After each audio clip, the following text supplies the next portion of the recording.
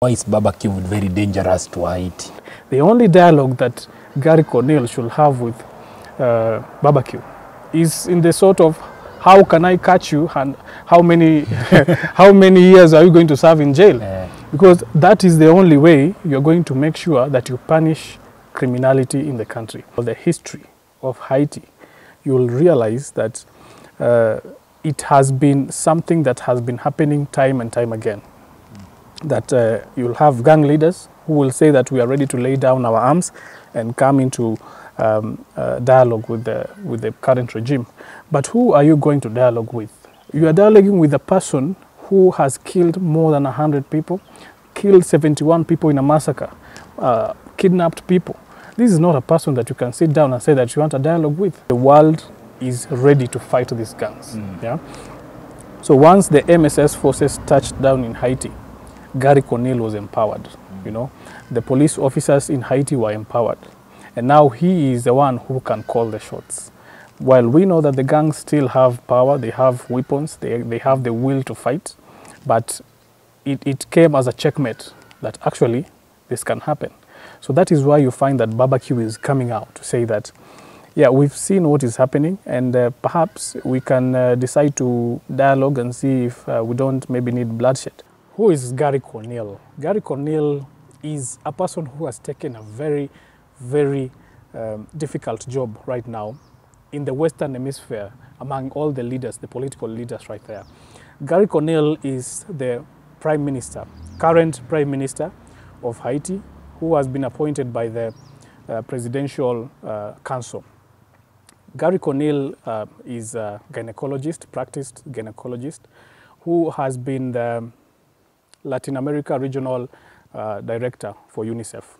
He has been out of Haiti for quite some time, uh, decades, because he has been a technocrat, basically. He has also been uh, a prime minister in Haiti for quite some, for four months.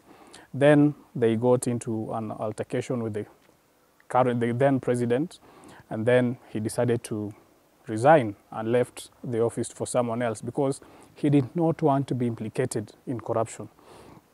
So Garry Conille has been accepted by Haitians, has also been accepted by gang leaders. Barbecue came out and said Garry Conille uh, is a good person, is, the, is a person who would steer Haiti to greatness. If at all, he would, quote unquote, come to dialogue with, with the, the gangs and the gang leadership there.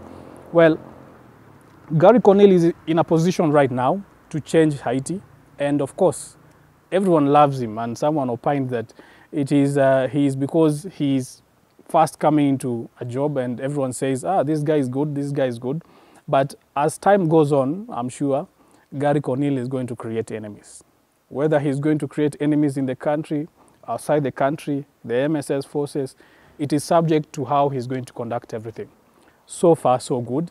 Garry Conille is leaning very much with the MSS forces and the Haitian police. By the way, the first thing that Garry Conille did when he went to Haiti, when he became prime minister, is to meet the, the widows of police, slain police officers in a show of unity with the, uh, the then or the current uh, people who have been affected by the gangs. Garry Conille has won the hearts of many Haitians, and I've support the Haitians are supporting Garry Conille to be a person who will change them, who will change the country, who will change the, the history of this nation.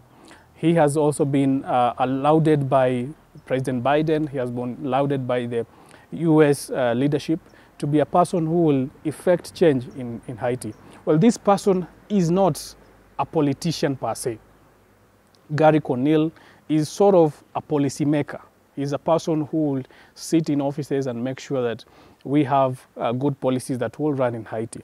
He's the person at the helm of the job right now. And by the way, when he was going to, to the US the other day, he, he didn't even waste time to start asking the presidential council that he wants to go to the US and do this and this. He texted them in the middle of the night and say that I am going to, to the US to do this and this. So he's a person who seems to be focused. When he was, to, when he was asked, why are you taking this job? He, he, he answered that, if not me, then who else? If not now, then when? So this is a person who is dedicated to make sure that Haiti gets back on its feet. And so far, Barbecue has asked to have a dialogue with him. Of course, as the saying goes, you don't negotiate with terrorists. But then, uh, some people are saying that at some point in time you really have to relax, but at the same time, you have to also to consider the kind of precedents that you will be setting when you negotiate with a person like Barbecue.